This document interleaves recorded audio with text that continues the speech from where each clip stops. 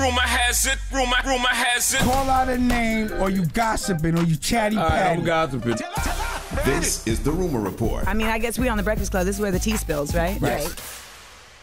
Now I don't know why 50 and Diddy keep going back and forth. Well, First of all, it's not a back and forth.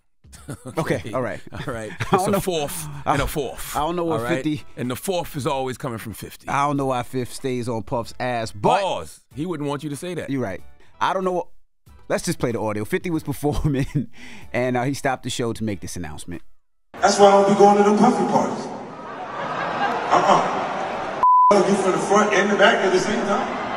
What you talking about? Uh, I mean, look, if you lay into that, you into that, I'm fine with it. To each his own. I'm just saying this my mother kind of party. It's uncomfortable. I think I belong in the girls' bathroom. When like that is going on. Well, they can be gender neutral bathrooms. Okay. By the way, the hug from the back will always be nuts, and I'm gonna tell you why. When a man hugs another man from the back, you know, it ain't even about the the, the, the sexual aspect of it. It's the danger part. What you mean, the danger? Like announce yourself. Don't just be walking up behind me, hugging me from the back. You know what I mean? I, I I got paranoia and anxiety. I don't know what you coming up from behind me before. Does that happen to you before? What the hug from the back? Nah.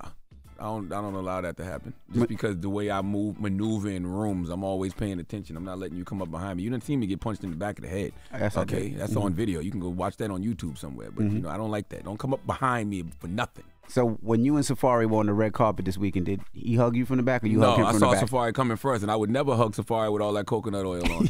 you know what I mean? You're not about to put that on that leather I had on. You know what I'm saying? That was coconut oil, by the way. He told me that. As soon as I, saw, I told y'all when I saw Safaree, I said, Safaree, what the hell are you doing? And he said, coconut oil. He said it like that. That's exactly how he responded. Okay, all right. Just Then he slid down the red carpet, literally. He slid down. Okay. All right. Well, yesterday SZA was supposed to perform, and she announced that she couldn't perform out in Toronto because she had gotten sick. She said that her voice has been shot ever since. She explained that uh, she truly wanted to perform, and she had no choice but to cancel. Well, Drake left a comment. He said, uh, "We're gonna do that ish together. When you come back, let me open up for you." So Drake wants to open up for SZA. well, is she going to be sick this weekend? Because I, I think she's going to be in Brooklyn this weekend. I think.